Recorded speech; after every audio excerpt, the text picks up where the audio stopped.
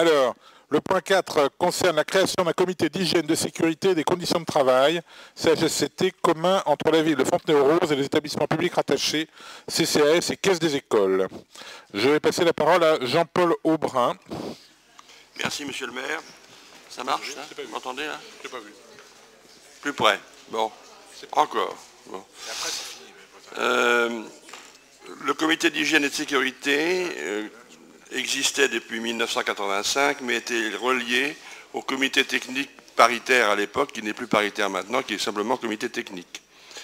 La loi euh, prévoit de séparer les deux organismes, donc un comité euh, sécurité, d'hygiène, sécurité et des conditions de travail différent, distinct du comité technique.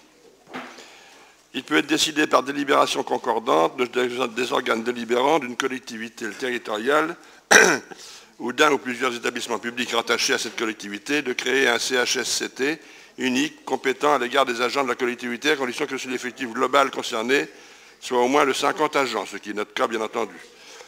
Les agents titulaires, stagiaires, non titulaires et contrats aidés au 1er janvier 1900 2014 sont la commune 567 agents, le CCAS 15 agents, la Caisse des écoles 6 agents.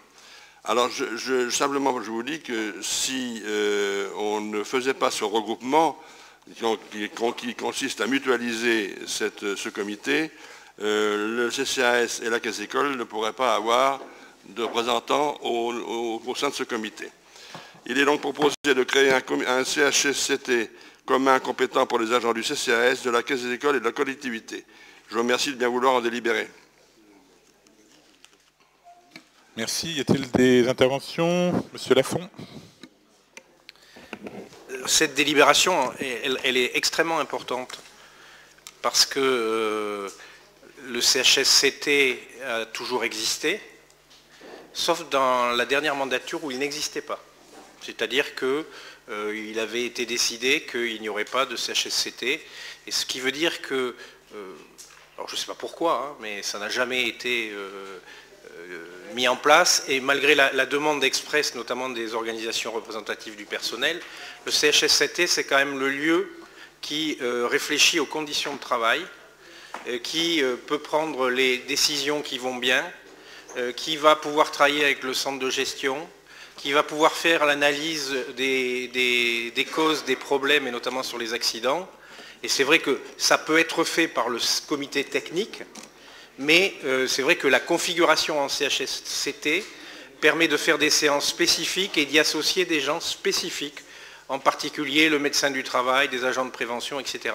Donc effectivement, ça a l'air d'être une délibération purement technique, mais c'est quand même une délibération qui est extrêmement importante. Madame Singer? Oui, je regrette euh, que vous interveniez de cette façon polémique. J'étais membre du CTP et c'est vrai que le CHSCT en, tant que tel n'existait pas, mais le CTP pouvait toujours se réunir dans la formation CHCT et, euh, et il l'a fait d'ailleurs.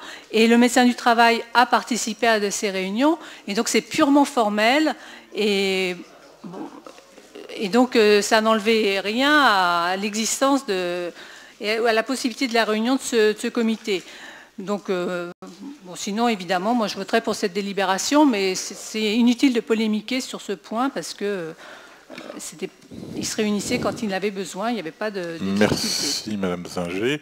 Donc je vous propose éventuellement, s'il n'y a pas d'autres interventions, de passer au vote. Qui est contre? Qui s'abstient? La délibération est adoptée à l'unanimité.